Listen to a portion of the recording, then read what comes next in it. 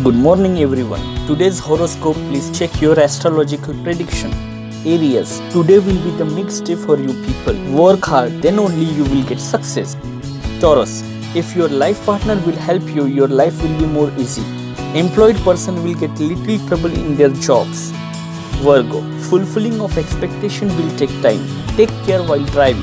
Leo, today's day is good for you people. Profit will be there in your business in the afternoon.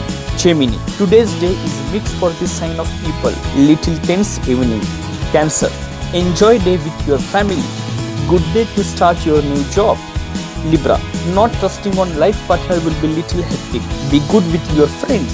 Sagittarius, concentrate on your health. Do not feel lazy. Capricorn, you will get some bad news. You are no one to control things. So try to spend some time with your family. Aquarius, new contact will happen. Take help from your friends. Scorpio, money will come in the evening. Some health concern will arise. Pisces, after long trouble, problem will come to end. Financial power will be normal. With astrologist Arya Soni on behalf of NP News 24.